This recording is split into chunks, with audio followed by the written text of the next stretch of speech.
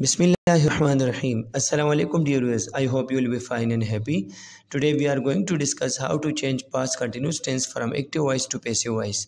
past continuous tense के फ़िक्रों को एक्टिव वॉइस से पैसिव वॉइस में तब्दील करते वक्त दर्ज झेल तब्दीलियाँ करनी पड़ती है नंबर एक फ़ाइल की जगह मफूल और मफूल की जगह फ़ाइल इस्तेमाल होता है नंबर दो इस टेंस के पैसे वॉइस फ़िक्रों में इमदादी फ़ेल वाज बींग और वर बींग इस्तेमाल होते हैं।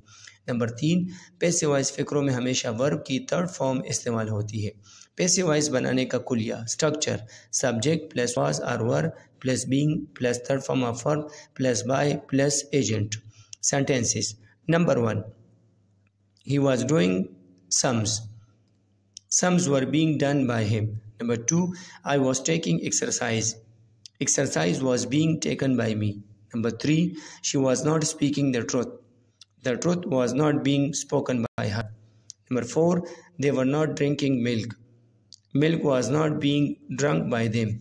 Number five, were you singing a song? Was a song being sung by you? Number six, who was abusing you? By whom were you being abused? At the end of interrogative sentences, we have to put question mark. Now come towards exercise.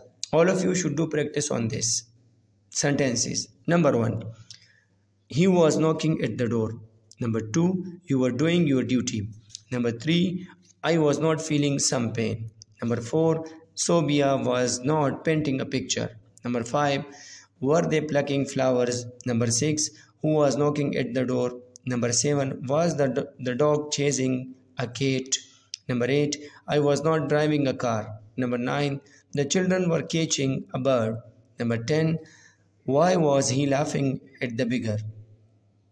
I hope you will get something from this video. See you in next video. Allah Hafiz.